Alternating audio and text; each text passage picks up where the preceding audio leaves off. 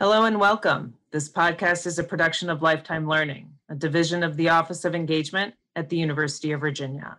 Lifetime Learning brings the knowledge and expertise of UVA's faculty to the university's alumni, parents, and friends. My name is Susan Lynch, and I am the Associate Director of Lifetime Learning at the University of Virginia's Office of Engagement.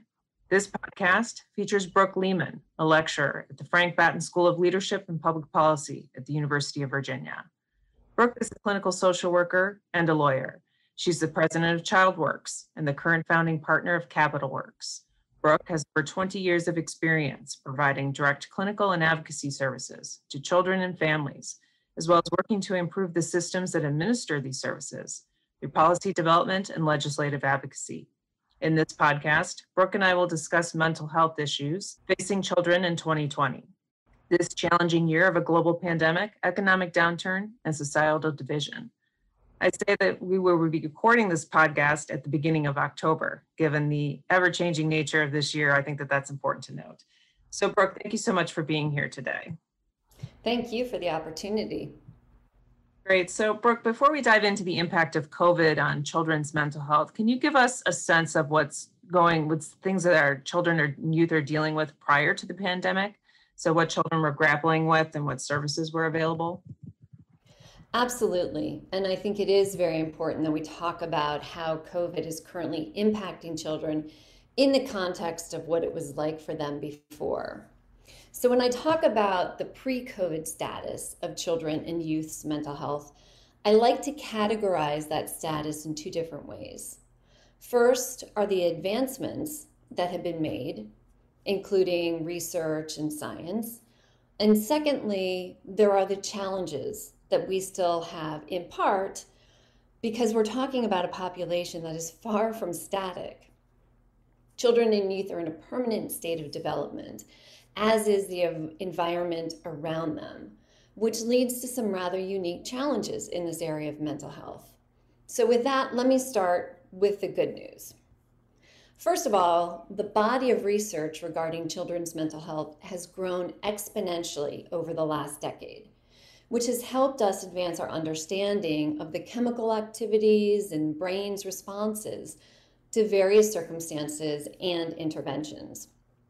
I know research can seem a bit esoteric to many, but the fact is, this knowledge has led us to consider a broader spectrum of mental illness for this population as well as gain a greater understanding of existing childhood disorders. For example, we used to think of ADHD very differently than we do now. Now we know that this particular disorder manifests very differently based on a child's age and sex. These are the types of, of advancements, understandings that we didn't have even just a decade ago. The additional significance of this knowledge has led us to the development of a broader more diversified group of therapeutic inventions, interventions that we can help address and reduce the severity of an illness based on our ability to recognize a child's symptoms or risk factors earlier in life. So, for example, when I was a practitioner, children and youth didn't experience mood disorders like bipolar. I just, it wasn't something we could consider for that population. Now, of course, our understanding of that disorder is much different, which means if we can identify symptoms earlier and hopefully address this challenging disorder much earlier in a youth's life, that child is going to be much better off in the future. I should note that the advancement in interventions also includes the use of psychotropic medications.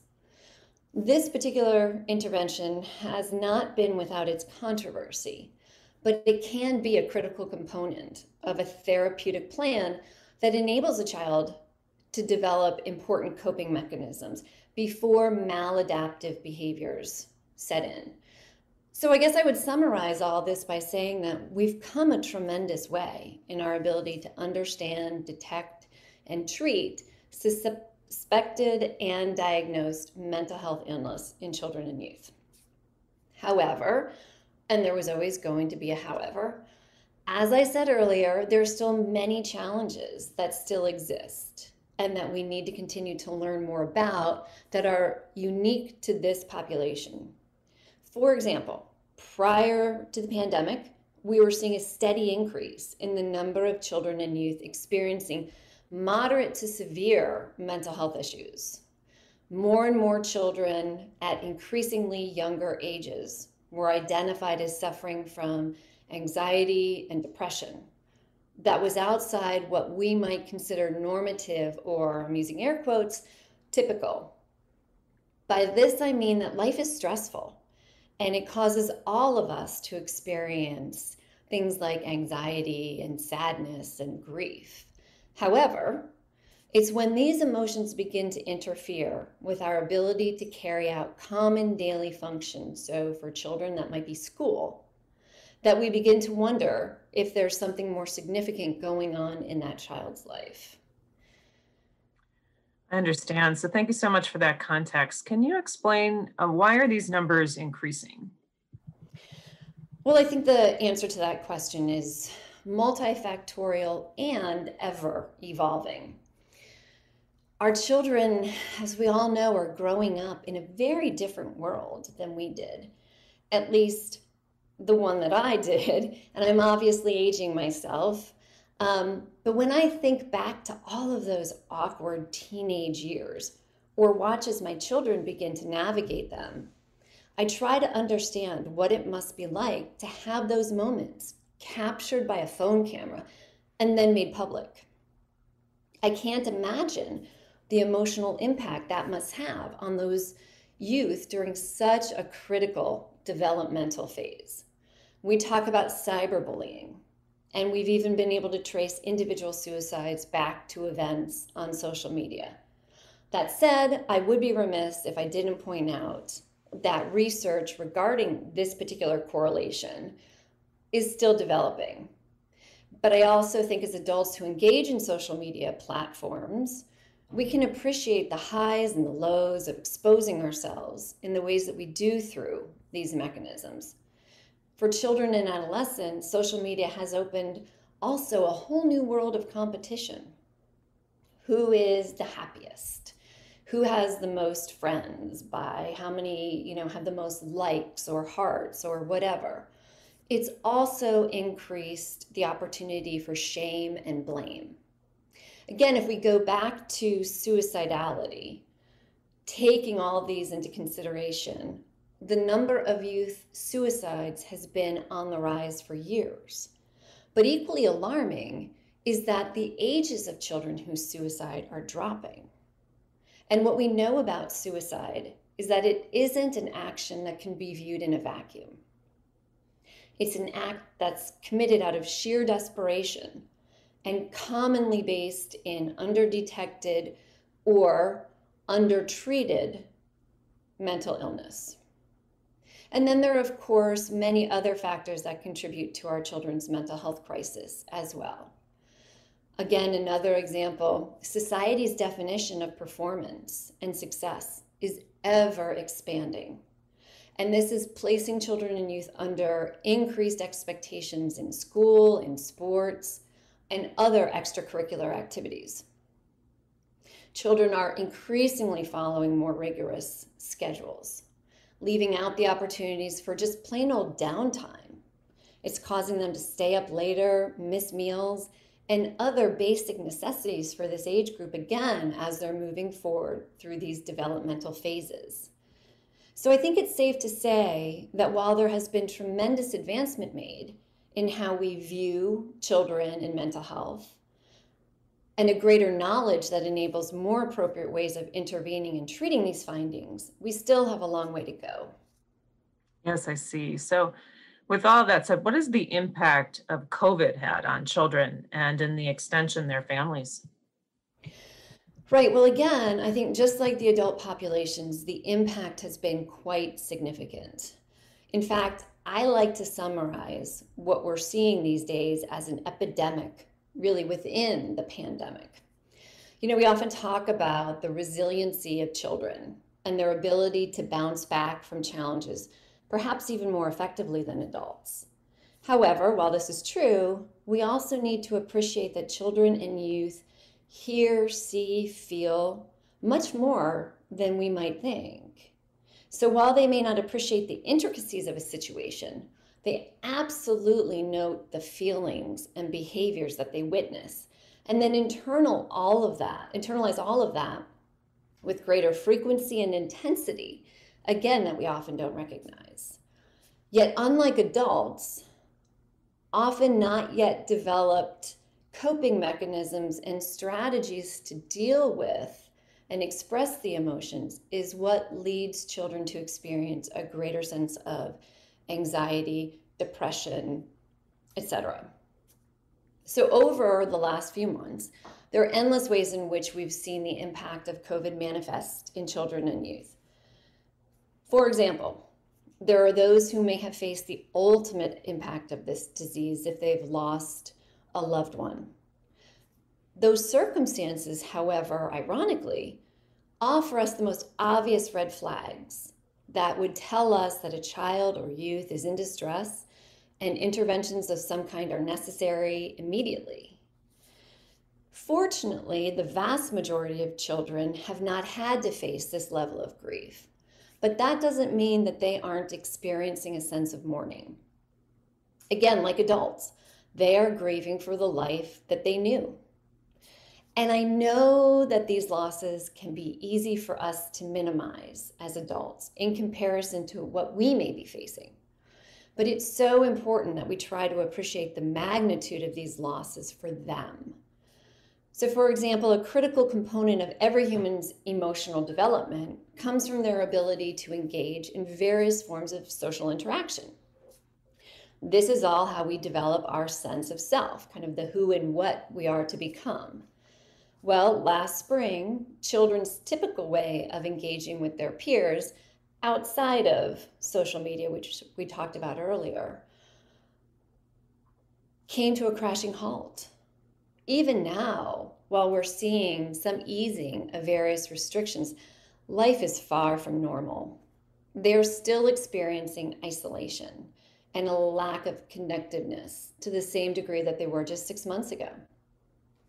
Similarly, other identifiable consequences of COVID on the mental well being of children and youth has been the impact it has had on many of the coping mechanisms that they do rely on to help process and express their emotions. I see this in my own children.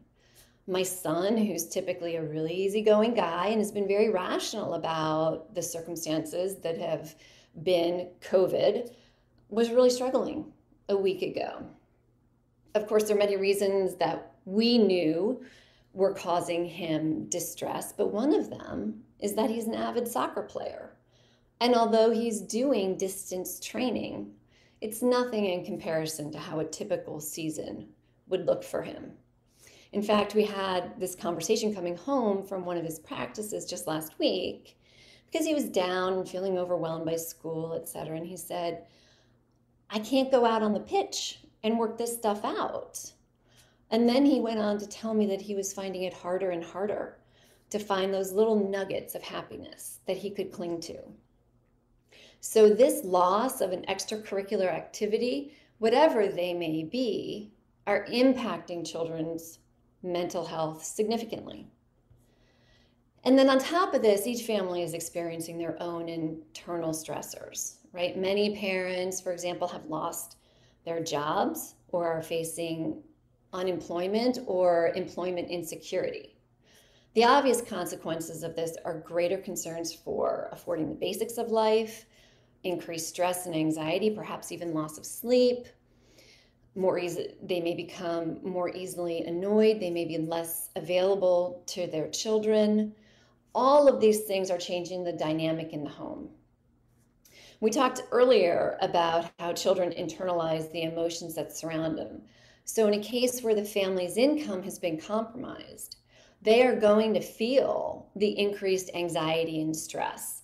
They're going to note the change in behaviors all around them, which raise the child's level of anxiety. And I do want to just point out, you know, as we talk about adolescents, they too have probably lost jobs or have employment insecurity. And for them, that's incredibly significant because That could be the money that they're saving to go to college with.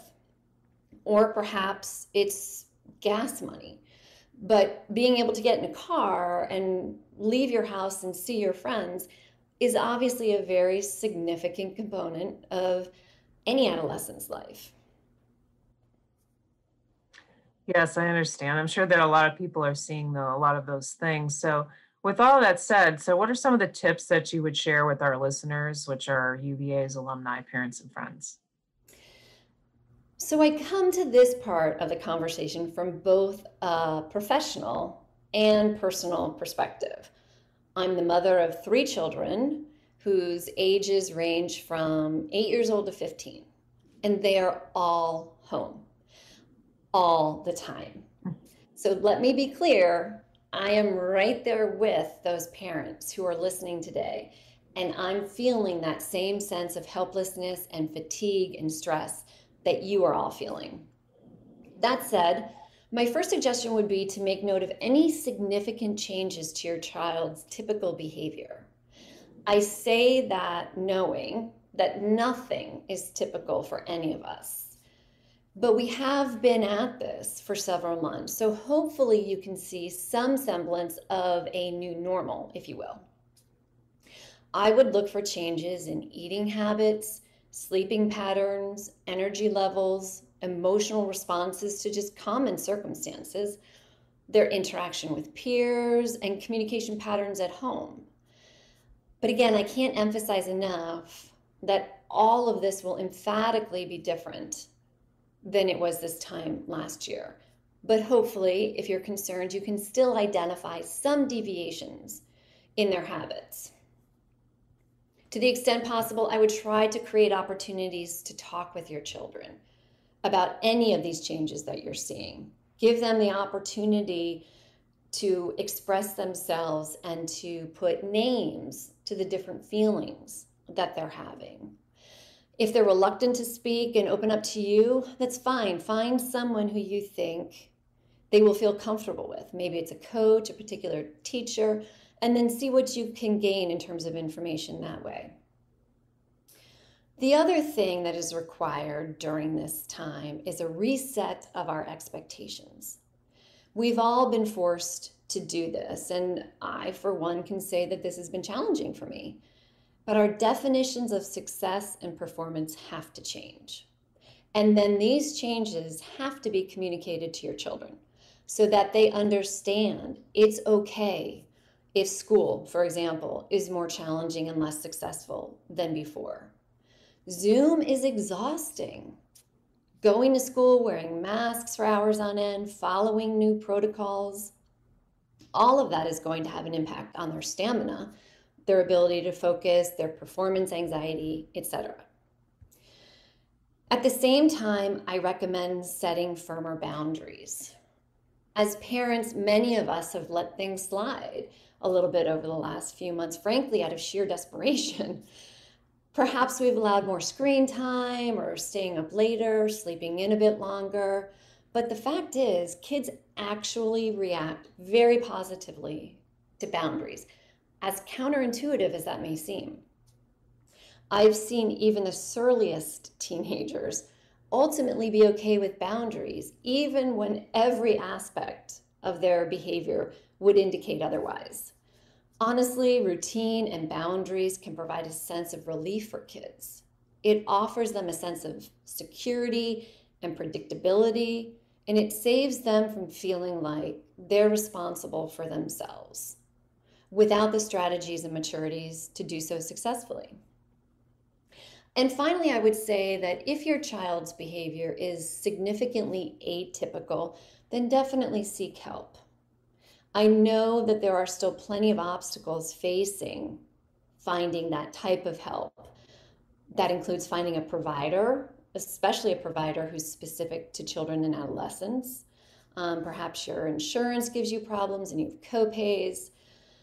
But I will say that one of the weirdest unexpected consequences of COVID is to some degree increased access to care.